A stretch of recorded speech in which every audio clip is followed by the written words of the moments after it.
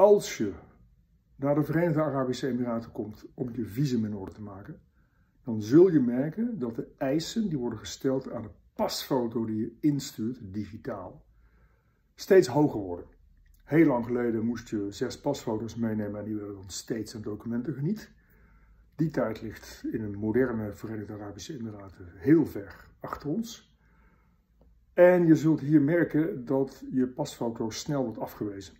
Hij is te vaag, hij is te klein, hij is niet 600 dpi, hij is niet het goede formaat enzovoorts.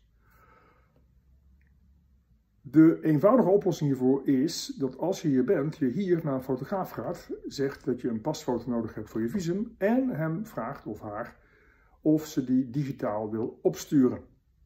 Dan ben je van alle problemen af en de scan die je dan krijgt is gegarandeerd goed.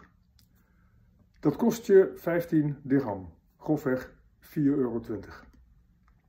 Je kunt het ook in Nederland doen.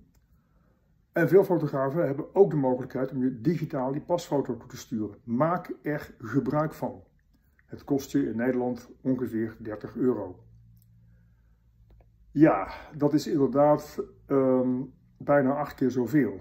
En het pijnlijke is natuurlijk dat fotografen in Nederland nou niet bepaald allemaal multimiljonair zijn.